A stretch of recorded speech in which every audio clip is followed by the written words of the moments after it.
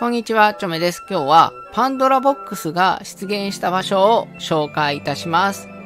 豆知識、こんな感じです。私、めちゃめちゃ苦労しました。514種類すべて集めることができました。下準備としては、道具屋さんでお宝探しの鈴を購入するか、自分が盗賊になって呪文、お宝探しを使うか、まあ、どちらかになっております。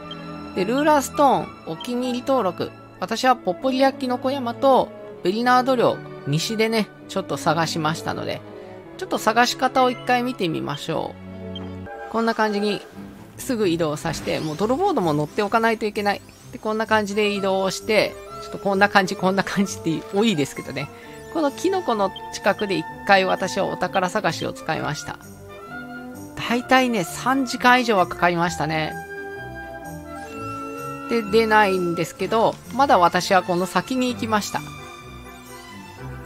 で、この辺でも一回ね、使いました。お宝探し。このお宝探しは、あまり使わない方がいいんですけどね、こんな感じに硬直してから時間がちょっと取られちゃうから。で、これも出ない。出ないけど私はもう、先の方に行きましたね、こんな感じに。するとパンドラボックスがね、出てくれましたので、その動画はちょっと最後に見せます。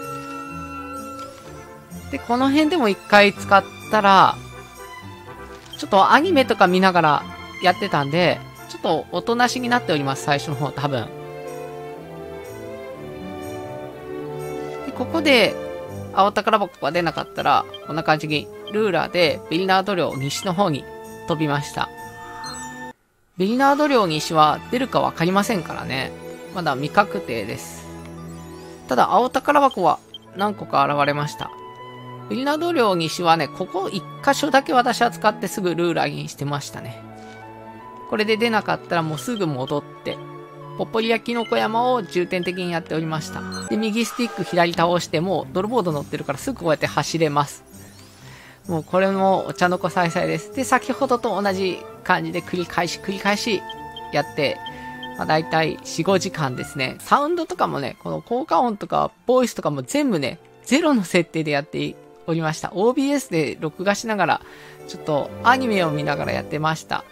他にもなんか、ちょっぴ荒野でも出るという報告がありますので、ビリナード西じゃなくて、ちょっぴ荒野とポポリアキノコ往復でもいいかもしれません。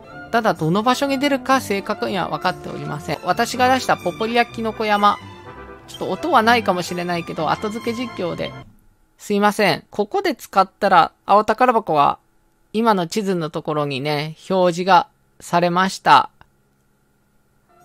で、ここでね、録画スタートしたので、ちょっとここに来るまでが、とっちゃないですね。なんと、宝箱はパンドロバックスだった。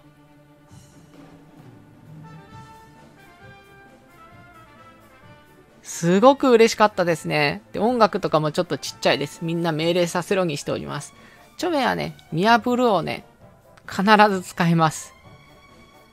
他は今どうしようかなって迷っておりますね。まあ、全身全霊切りでも使っておこうかなというところでございましょうか。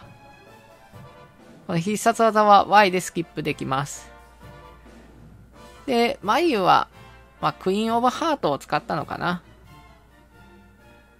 で、ザラキーマを使ってくるので、死なないために、聖女の風。これはね、ザラキーマ食らっても HP1 で残ります。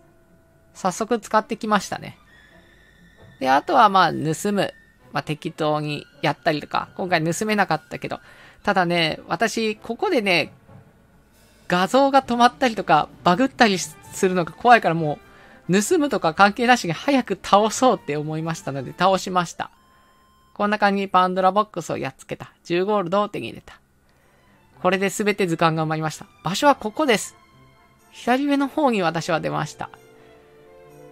で、514種類揃った感じですね。最後にベリラード西とポポリアキノコ山に出てきた青宝箱の場所だけちょっと見せて終わろうと思います。ご視聴ありがとうございました。実況者はチョメでした。まあ、ご覧の通りでございます。